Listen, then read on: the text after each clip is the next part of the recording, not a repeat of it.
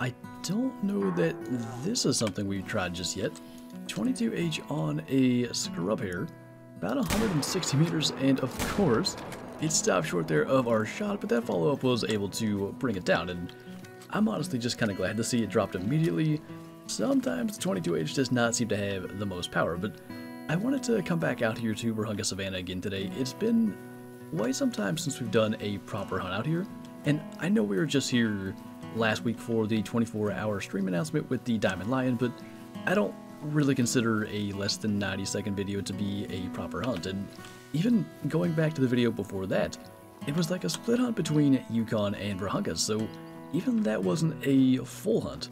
But we get to see the impact of the 22H there, and no surprise now seeing that it was a right lung shot that it insta-dropped, but nice little 5 score where 5.3 is diamond.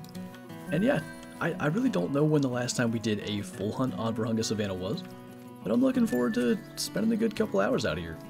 And if there is one species that we shouldn't spend too much time going after today, it is probably the Cape Buffalo, and going back to the split hunt that I mentioned, that was the trophy that we got from here, obviously the albino Cape Buffalo, and I'm just not too sure that we have a lot more room for any trophy Cape Buffalo in our lodge. I mean, maybe a super rare, but other than that, I don't really know what we could potentially add, so we'll go ahead and take this guy as it is Cape Buffalo drink time, and I wanted to kind of go through this way. We're basically going to pass through some decent uh, rest zones for things like Scrub Hare, Wildebeest, maybe even uh, Kudu as well. And of course, those are the new TruRACS, so that's something I'm definitely interested in spending some time chasing. Those and free level 4 Warthogs are uh, welcome surprises as well. I am kind of pleased that we got that shot off because he started to end up running away from us. Nice little 50 scoring gray. I saw the hunting pressure pop up pretty quick with the Cape Buffaloes. I don't think it made it far. Does sound like we're getting charged. Let's kind of get out of the way and maybe reload the 338. I actually wanted to bring the 470 today, and mostly it was going to be for this particular scenario, but the thing is, if we would find a decent lion of any kind, we're kind of stuck. We have to get close, and let's say we could find the albino female lion that I want. I would hate for it to be down to making a good shot with the 470, so sticking with the 338, and in that case, it did a fantastic job, not only on that Cape Buffalo, but the other one as well. They both went down pretty quickly. Much like the last time this happened, I am pretty sure we're looking at a guaranteed troll level 5 male Gemsbuck, but it's just been so long since I really consistently went after them. We have to go ahead and take that shot just in case, and the thing about it is, and I don't know if there are going to be any that will make it super obvious, but like that's a decent 4. And the level 5 absolutely dwarfs it, and maybe if I were doing a Gemsbuck grind at some point, I do intend to do one unless we can get a diamond in a scenario like this. A male diamond Gemsbuck is one of the few things that we don't have that I still really want to get.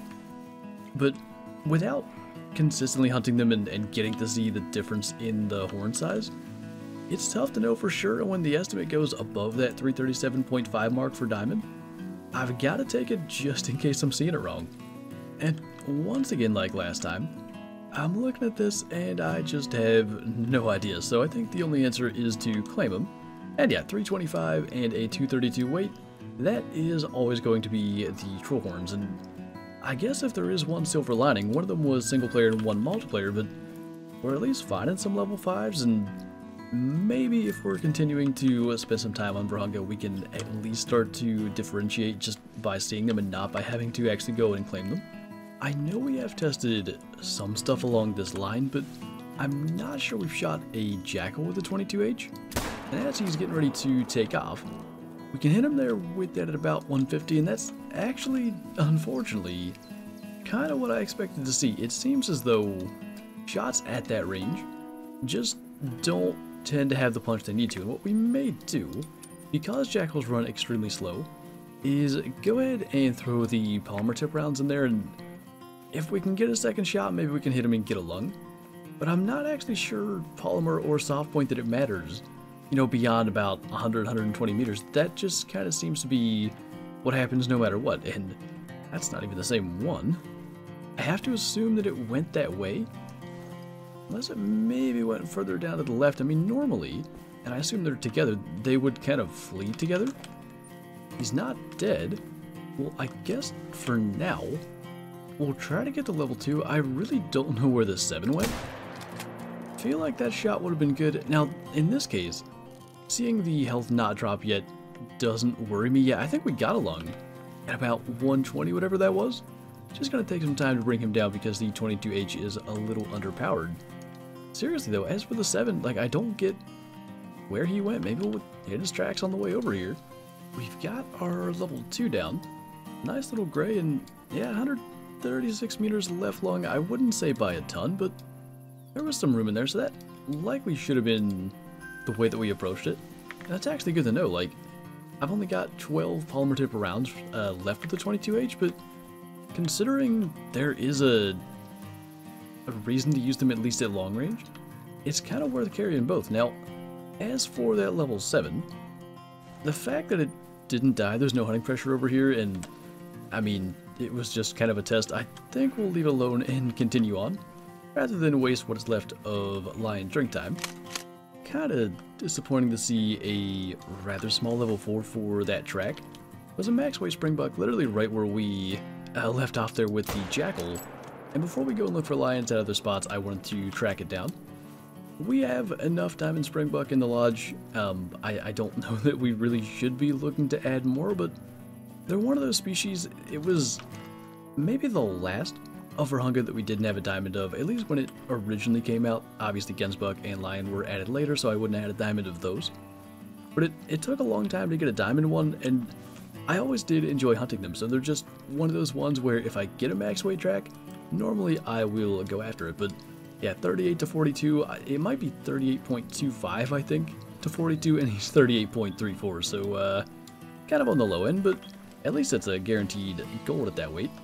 That's one of the better looking Kudu we've seen at all since TruRACS, and I'm kind of surprised to see it's not only a level 4, it's a non-max weight estimate level 4, so there's no shot that he can be even close to Diamond. Diamond's 151, I think?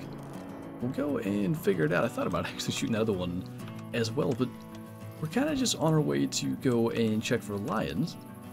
Kind of surprised to see a couple of kudu just come running out of the brush and bed down, but it's an opportunity to see how big they can get without even being max weight. I wouldn't be shocked if he's 90 point something. 89.46 is close. 139 score, I mean, barely 10 shy of diamond. Without even being in that max weight class, that's gotta be about the upper end of what a kudu in that weight class can reach, and by far the best one we've seen today. Finally, at least, we get to see a max weight estimate line, but he is the lowest possible level to be in the max weight range, just a level 7. But at least it'll be a decent 7, and I mean, we've been running around seeing mostly, I don't know if he's still in sight. There was a 7 over there with the lower weight estimate with a max of 236 kg. That or lower has kind of been the, the way things have looked. I think this will be his track right there. So even just to see a high weight estimate and a little bit of hope, I'll take it. That, along with a drop shot, will definitely take those sorts of things where we don't even have to track. Double lung and heart from the 338 championship, although I will say, that certainly appears as if we shot behind the heart. I think when they're moving, sometimes that can kind of happen where, like, the bullet path doesn't necessarily represent what should have been hit, but either way, double lung would have been fine, and a nice 46.5 lion. No, I do think it says something about this map when what I would consider a fairly lackluster hunt does still include a troll uh, Gemsbuck.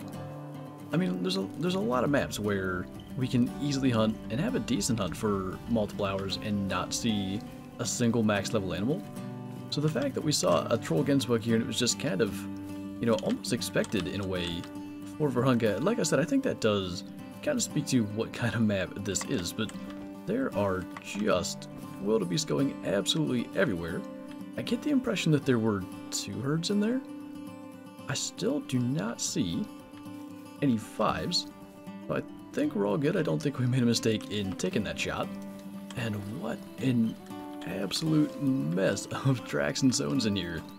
We're lucky that animals glow as well, or we may never have found this guy. Just a 35.7 uh, gold blue wildebeest, and it does seem as though the gold wildebeest are more common now than they ever were.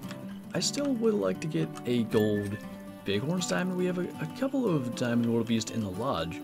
I think they're both just like common bighorns ones. At one point we had a bunch and they've kind of slowly been phased out, but that's something we can maybe work on getting sometime kind of down the road. I think we have enough grinds going on for the moment, but I think on that note, as we're still scanning around and trying to make sure we didn't miss anything, that is going to do it for this video. So thank you guys for watching, and I'll see you next time.